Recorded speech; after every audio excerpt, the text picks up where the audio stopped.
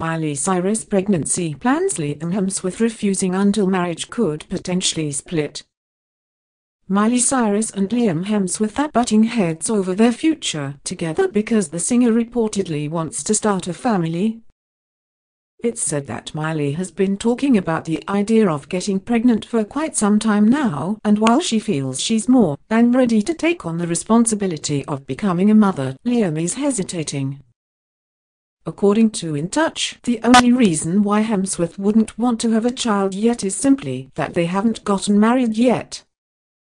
The actor supposedly thinks highly of being married before having children, and while it's something he could definitely see himself doing with Miley Cyrus, the Bangerz Heatmaker has been shying away from becoming a wife. It's almost as if the two are on completely different pages, a source notes. Miley Cyrus wants kids but isn't ready for marriage while Hemsworth won't start a family with her until she has officially tied the knot with him. An insider adds by saying that arguments are often erupting in the home Miley Cyrus shares with her beau, to the point where it's beginning to bother beyond belief. Miley can't reason why Liam wants to marry before children, especially when they've already been together for such a long time. With that said, if they've already been so close for so long, marriage shouldn't change anything. What's Miley Cyrus afraid of?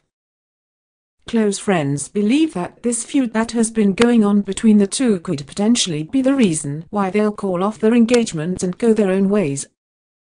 It's been a constant thing, and since the argument isn't about something relatively small, it sure seems like Miley Cyrus will be single before the year's end, it's being alleged. Seeing that she knows she doesn't want to get married but plans on having children and Liam sees things differently, she wouldn't want to entertain a relationship that isn't going forward or at least according to how she would like it to go.